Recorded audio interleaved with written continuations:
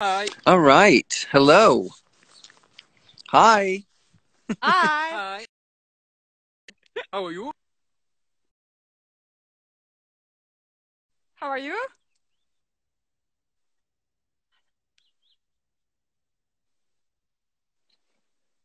Ça a du mal à marcher. Ça a du mal à marcher. To see you. Is it Very, working? very well. It's working. I think there's a little lag in uh, data. Okay. So, So we'll we're going to try to speak uh, slowly. and we'll pause after we speak to let the other person go. Okay.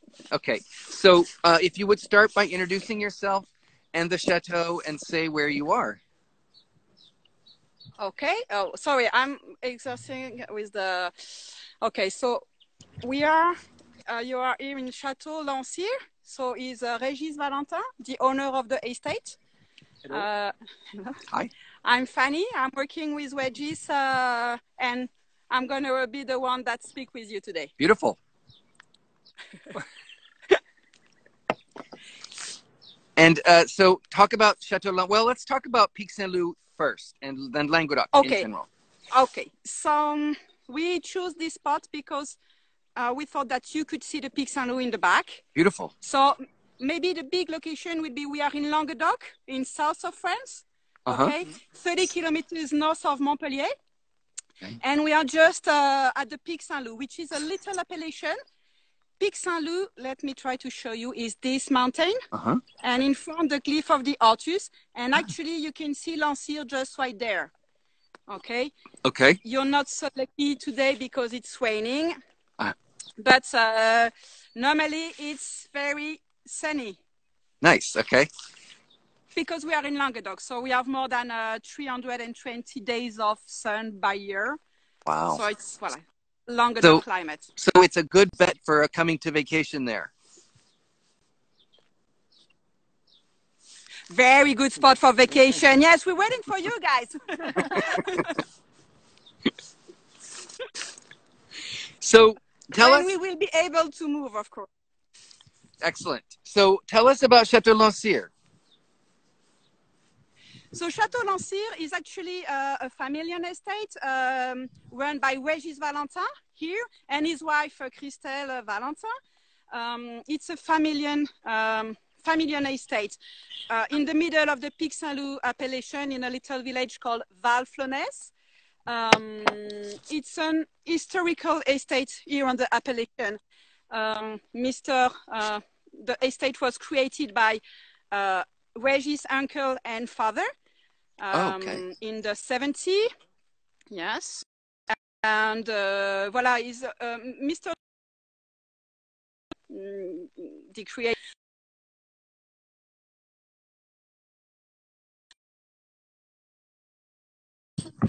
For Languedoc appellation. So what all grapes do you grow there? Grenache,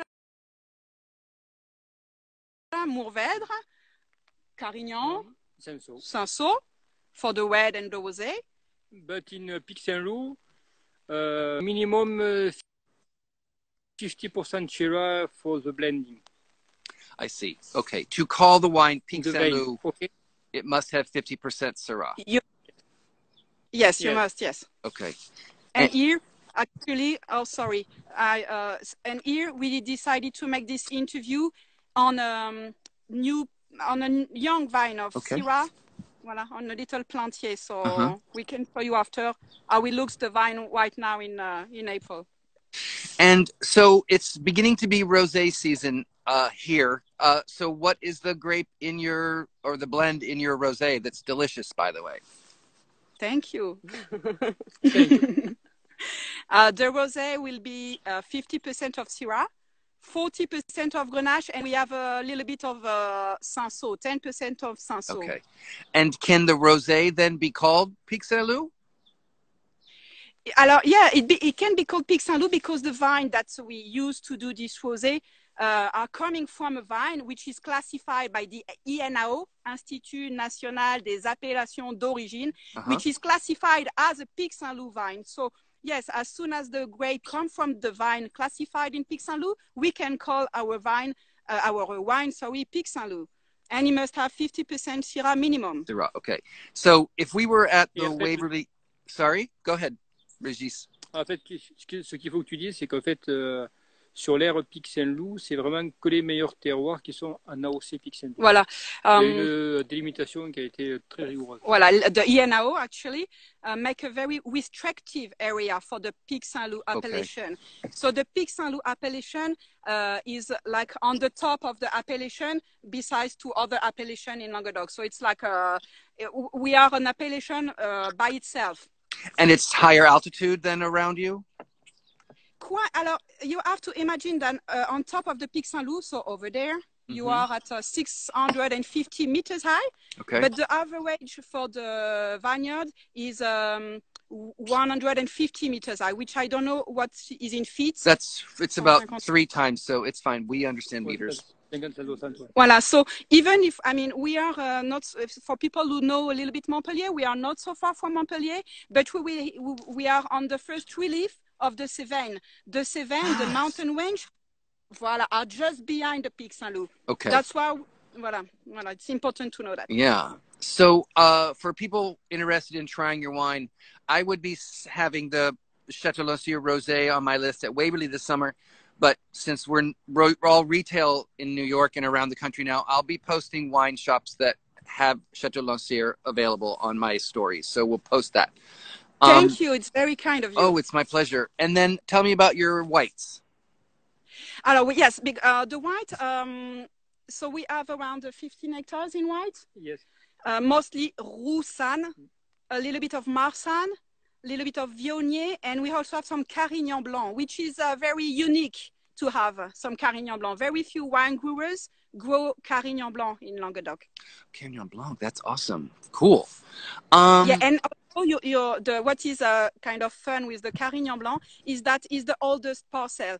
Um, in Languedoc, we had a big frost in uh, 1956 okay. that damaged almost uh, 90% of the Languedoc uh, vineyards. Wow. So it's very hard to find a vine planted before 56.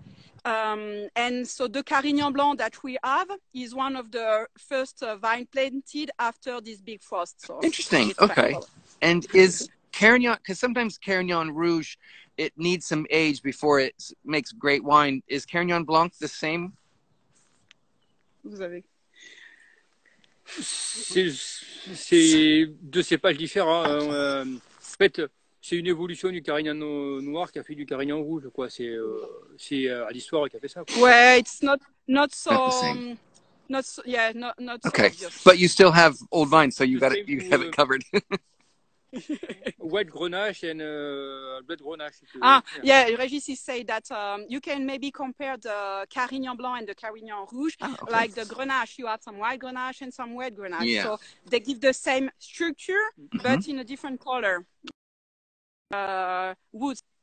Excellent.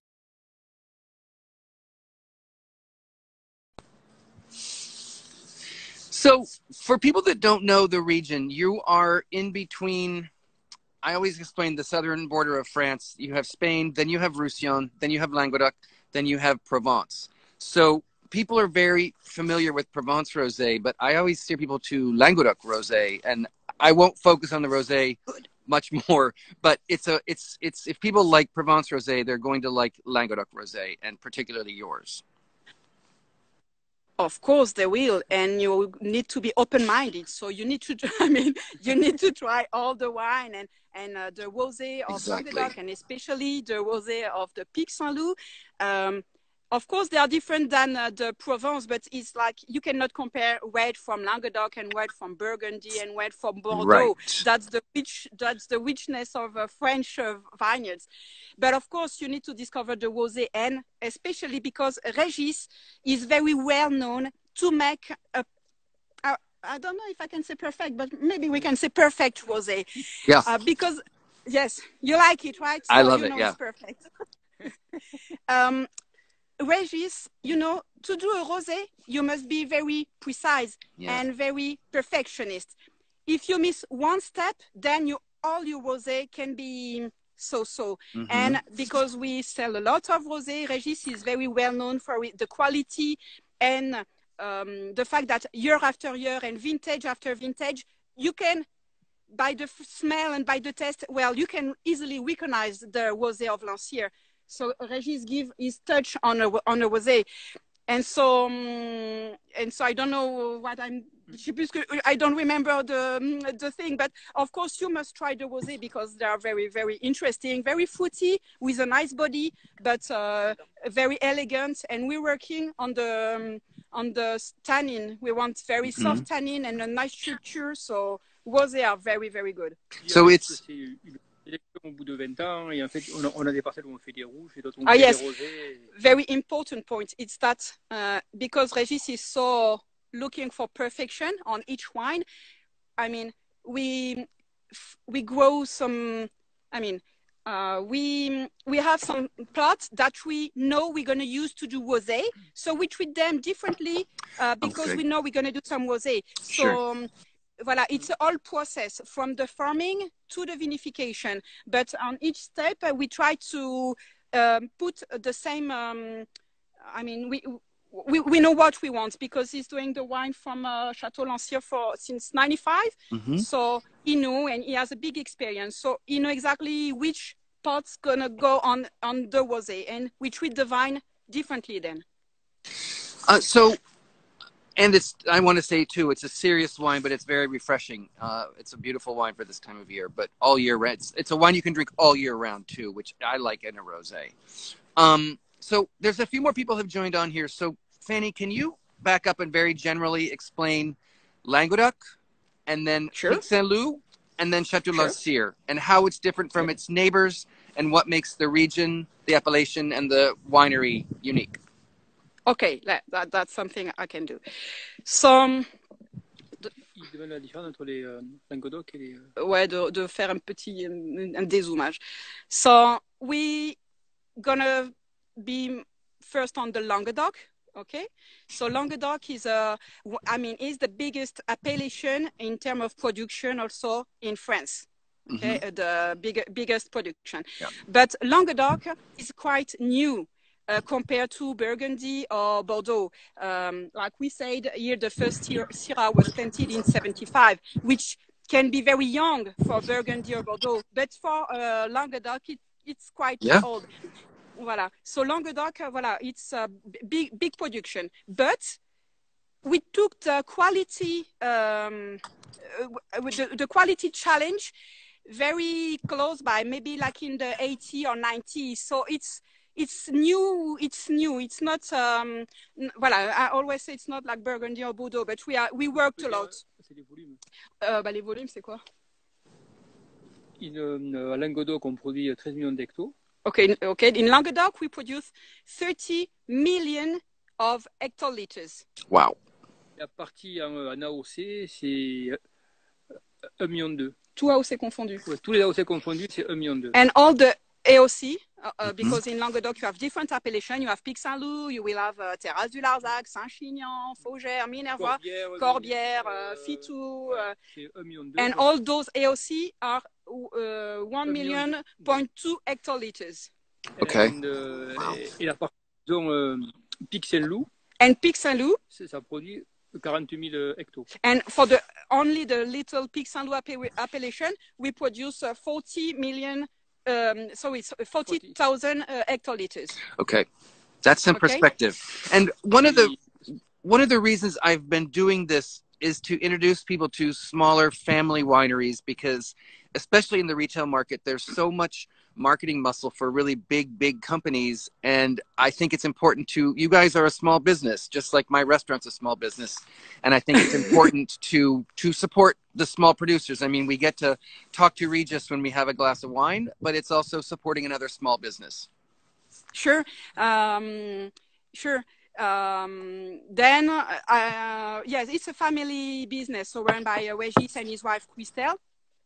Uh, to give you an idea of the size of Chateau de Lancyre, if we if we well, if we talk only about Chateau de Lancyre, so we we run 80 hectares, Okay. eight zero, uh, 60 hectares in uh, appellation Pic Saint Loup, uh, but we also have so 20 hectares in Languedoc, and we I also see. produce a little bit of IGP, Indication Okay. Géographique Protégée. Mhm. Okay. Um, we produce around um, 350,000 bottles per year, Okay. which is quite big, you know. Yeah, yeah. I mean, it's it's a good activity, and um, and we are 10 person to work with Regis all year long. Say that again. We are uh, 10 employees Oh, okay. hmm working with Regis all year long. Um, and uh, we, during uh, like now from uh, April to May and June, we can hire for the vine because we do a lot of things uh, by hand in the vine. We can hire uh, 30 person more. Okay. Uh, so of course it's a family affair. Uh, but voila, we think uh, that that's very touching that you like so much the rosé uh, because you know sometimes we are on our little village on our vine and we do the work and it's very touching to see that uh, we do this for the pleasure of uh, somebody. So that's the, the that's the passion of the wine, right? Exact. Exactly. That's uh. It's. I always I tell people that when you have a glass of wine, you're taking a little trip to the region. It's a way. It's a you pause and you step out of where you are right now, and you you take a little visit. Exactly. Yes, exactly. And when we are in the vine, we don't realize that. So it's important also for us to have some feedback. Excellent. My pleasure. Uh, somebody just asked Oh. Peak Saint Loup. Does that mean the the? Is it like Picpoul de Pinet, like the peak your tongue, or is it the peak of a mountain? Yeah, I just well, I just saw the question. Okay. No, uh, Pic Saint Loup. Uh, Pic Saint Loup is uh, so we are in the Languedoc. So Languedoc, you were talking about the Spanish border, and then we go to Nîmes on the Yeah. north, and that's all the Languedoc. In this Languedoc, you have different appellation. Uh, Pic Saint Loup is one of them, 30 kilometers north of Montpellier. Actually, we are the appellation the more at the north of all the appellation of Languedoc. And Pic Saint Loup is this mountain. Okay. Pic Poule, Pic Poule de Pinet hmm is another appellation uh, near the Mediterranean. So they are more um, on the well, on the seaside, on the Mediterranean Mediterranean Sea near Can't Sète. say it either. Uh huh. Okay. Um, so it's two different appellations, but uh, uh, you can get some confusion. But the actual word and it's peak. white, and it's a white wine. Pic Poule de Right. Pinet, they uh, put white way. But in in peak pool, I think that the word peak means it bites your tongue like it, a bee sting. It's a sharp. And peak, Ah. the word the word peak, where does that come from? Uh, it's the no. name of the cepage. The No. cepage, the varietal, is called Pic Poule. That's why you, that's where Picpoul come from. And peak peak Saint Loup, the peak word comes just it's the name, or does it mean something? No, it's the mountain. The peak, like the mountain we have uh, behind us. Okay. So then uh, uh, I'm going to ask you kind of re- repeat a little bit. You said you're 30 minutes north of Montpellier, but the Picpoul, Yes. uh, Pic Saint Loup appellation is unique how from its neighbors? Okay, so that's uh, something very important. So you have to imagine. So we have 30 kilometers north of Montpellier. And that's from the coast also. Montpellier is on the That's coast. That's from the coast. Yes, we are uh, 30 kilometers uh, uh, from away from the sea. Mhm. we have uh, uh, two different aspects on our climate that we call terroir. Okay. Mhm. The first thing, it's kind of hard to imagine today because of the clouds, but we are on the first uh, range of the Cévennes. So just behind the Pic Saint Loup, you are on the Cévennes Mhm. and it's a mountain, okay, mountain range. And this mountain range um, makes that uh, we have a big temperature in summertime during uh, day daytime and nighttime. So it's very hot during uh, during the day, and at night we have the cool breeze that come from the Cévennes, and that makes all the little valley you have in Pic Saint Loup uh, very fresh. So you have a Ah. big temperature during the day and the night, Ça, c'est, euh, which is great for euh, the Syrah Yeah. and for the maturity that, that comes very slowly and uh, voilà the maturity voilà comes very slowly because at night it's cool down and, uh, uh, Ouais. voilà. Et elle fait de- des euh, maturités selon longue et douce. Voilà. Comme les tanins. Et... maturity are very long and progressive and very soft, like the tannin at the end that we have in our wine. Uh-huh. So that's uh, first uh, first aspect. And the second aspect, the sea, which is uh, as you said, 30 kilometers away. Uh, the clouds come up from the sea and they will block on this relief that we see behind us Oh. and that makes more rain here than in other appellation in Languedoc. It rains more in uh, Pic Saint Loup, That's which is awesome. also great for the vine. That's it's really it, you explain it so well. Uh, and people say terroir, you think it's just the soil, but it's not. It's the climate and the geography so much. Sure, sure. Very, it's very it's cool. all combination, and of course it's a combination also of the soil. Uh, we are. Do you want to see the soil, the ground? Sure, and some vine buds. Oh, okay. And me- Fanny, let you can you can turn the camera around. There's a button with some arrows to flip the camera, so you can point it easier if you want.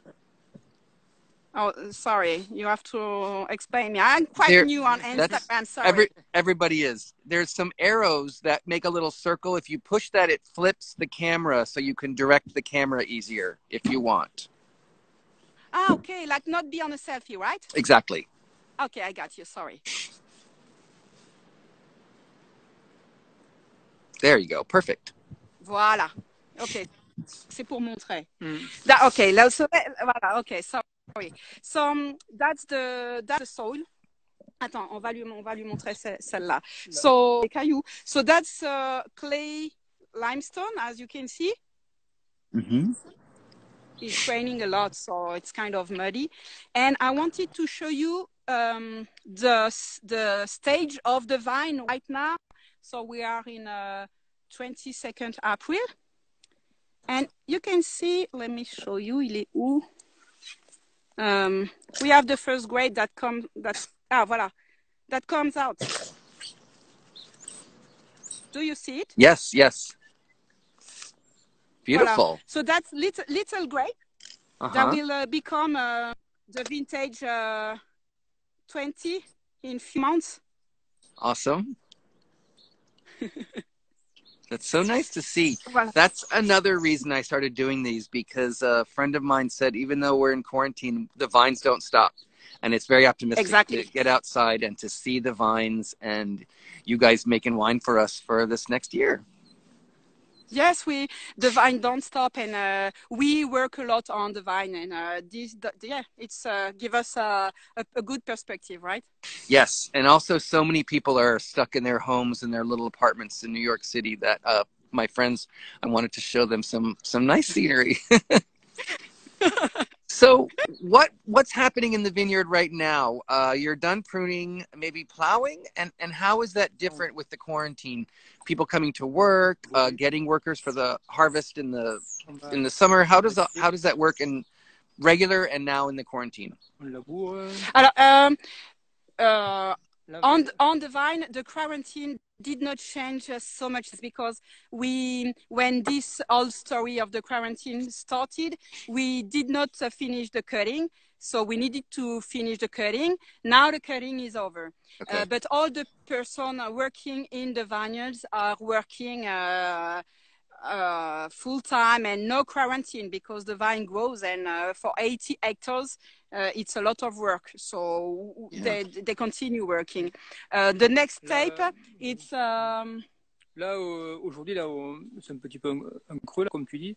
Après, dès que ça pousse, alors, on va mettre, euh, on va se mettre à palisser. voilà we we mm, we wait for the vines to grow Mhm. just to grow and we're gonna start uh, trellising trellising Okay. Okay will be uh, to to take to, to to take all the the um, attends, je me- voilà, all this and put them into the um, the tree The the wires that train the, the vine. wires yes Yeah. yes Uh, Fanny, you can turn it around Yeah, so we're talking at you again. okay attends sorry That's okay. Is that Christelle? Is that Christelle? say hi. Say hi for me. hello Jeff hi. Nice to see you. Everybody's so good with the umbrellas. It's great to see you. You're very brave for standing in the rain for us. We really, really appreciate it. Yeah. And uh, while I think of it, Christelle sent me a link to a very beautiful video about the family and the winery.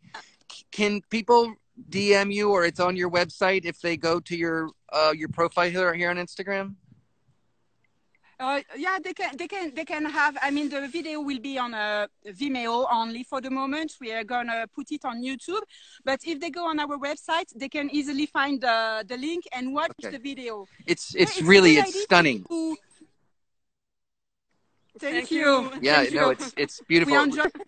It shows the And you family. It shows the the Yeah. landscape too, beautifully. Yeah. Yes, and the work, and because now people in quarantine, they have some time to spend. Maybe it's a good idea to spend 20 minutes. Exactly. it's a it's a nice escape from inside. So um, so the trellising, your ten employees, that's enough employees. You don't need the harvest workers. No, uh, um, harvester is only September, October, and that's the regular employee. But for trellising, disbudding, uh, we hire uh, sometimes 20 people more. Okay. So the 10 employees are not enough. And, oh, so for for trellising, you will have more more employees. We'll, we, we will do, yes. I see. aussi, on a des bourgeois.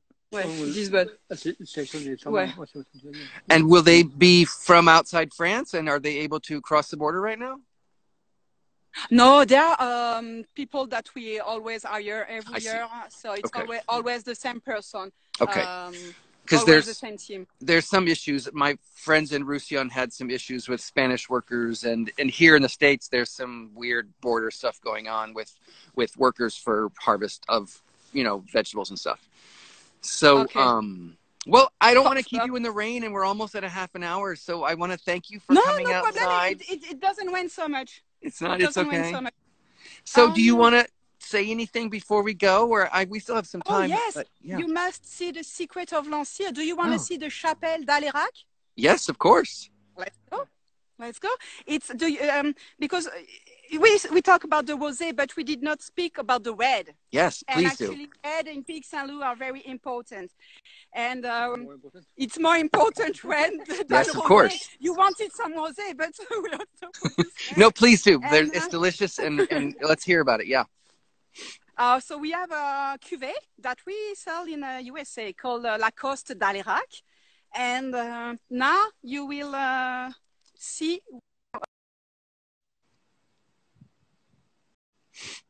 Oh, sorry, I'm going to just uh, put the battery on. Oh, Okay. So, sorry, technical issue.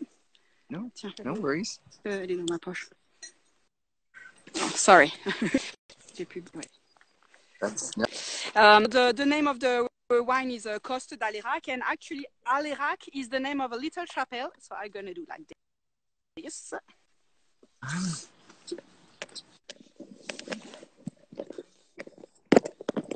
Attends, je vais y aller comme ça.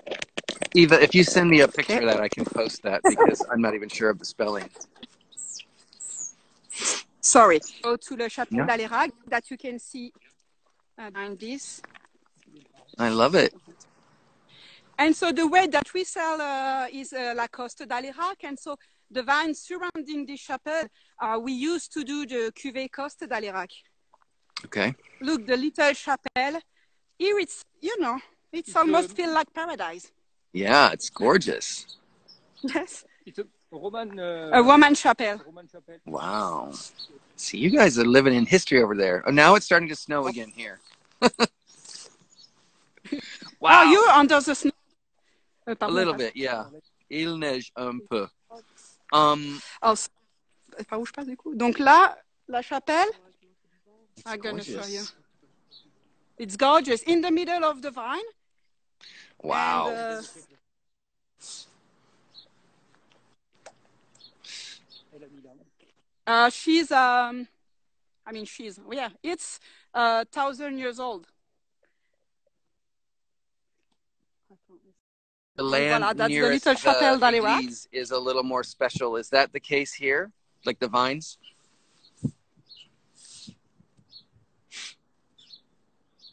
Sorry? Sometimes in Bordeaux, you find uh, the the vineyards around the sh- around the Église uh, is a little more special. Is that the case here? Um, not so much. Not Not, so like much. in It's just an not, not artifact like of the- Bordeaux. Okay. Oh yeah, exactly. Uh, voila, and you can see the Pic Saint Louis in the in in in in, in the back. Oh yeah. Okay. So voila, we are on a. I mean, yes, it's very bucolic and a very nice place to be. It's beautiful. So the the wine. Explain the the Americans are really fascinated by cépage. Can you tell us the grapes? for the red. Yeah. Uh, so Again, tell us again. Syrah, Syrah, uh, Mhm. that must be 50% Syrah minimum into a Saint Loup wine. And then we have uh, Grenache and Mourvèdre. And we also have some Carignan, but uh, Ca- so Carignan actually we have some whites as we speak before, and we also have some red Carignan that we are using on the Coste d'Aleyrac. On the wine Coste d'Aleyrac, you have Syrah, Grenache, and Carignan. Uh, And, then how you know, it? then- what is the élevage and the blending? Do you ferment and then blend, or blend and then ferment? we ferment uh, um, plot by plot, and only Okay. after Oh, cool. we do the blending. And Okay. then, yes, we uh, age in a like a regular tank, let's a concrete tank, and Mhm. some of of the wine we also age in a hog barrel. Okay. Great. Voilà, so this is the, voilà, you can see the Pic Saint Loup, Lancyre, and Lancyre just uh, just here. This is Lancyre. Amazing. Ah, yes, The yes. Okay. that, you see? Yeah. Voilà, that's Lancyre. Beautiful. That's where we do That's- everything. Awesome. Okay, so when I come to visit, what are we going to eat with the red wine? What do you? What kind of food is from the region that you serve with the red? Let me see. Uh, let me ask Christelle what she's gonna prepare you for dinner. tu lui prépares quoi Oh, yeah, they love um, duck, uh, duck magret. Ah, fabulous. Duck breast. Maybe with a nice uh, potato, but you know, with uh, butter and uh, smashed potatoes and uh, and a nice glass of uh, red wine. It should be something very, very simple but very good. I can't wait. Excellent. that sounds delicious. Well, I- going to let you go, but this has been a pleasure to meet you, Fanny. Um, Christelle and Regis. I met in New York, and we had Yeah. apero together, and it was just really special. And uh, I want to thank Regal for putting us in touch again. Fanny, thank you for your help. This has been really, really cool. Uh, a really nice chance to get out of the house, and uh, and we look forward to getting your wines. So thank you, thank you, thank you. Thank Thank you, you. thank you, Jeff. All right, take care. Bye. Bye-bye. Bye bye. Bye bye.